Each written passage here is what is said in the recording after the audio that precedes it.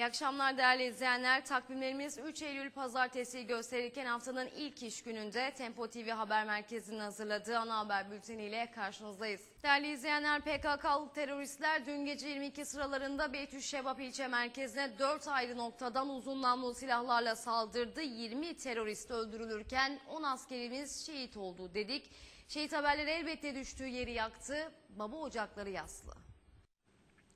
Cumhurbaşkanı Abdullah Gül Şırnak'ın Beytüşşebap ilçesinde teröristlerin saldırısı sonucu 10 askerimizin şehit olması milletçe hepimizi derinden sarsmıştır. Milletimize bu büyük acıyı yaşatanlar bunun hesabını mutlaka vereceklerdir dedi.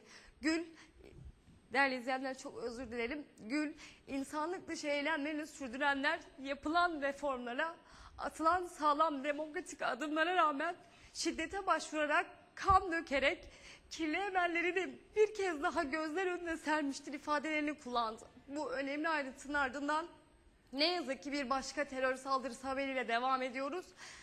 Bir başka terör saldırısı haberi Şanlıurfa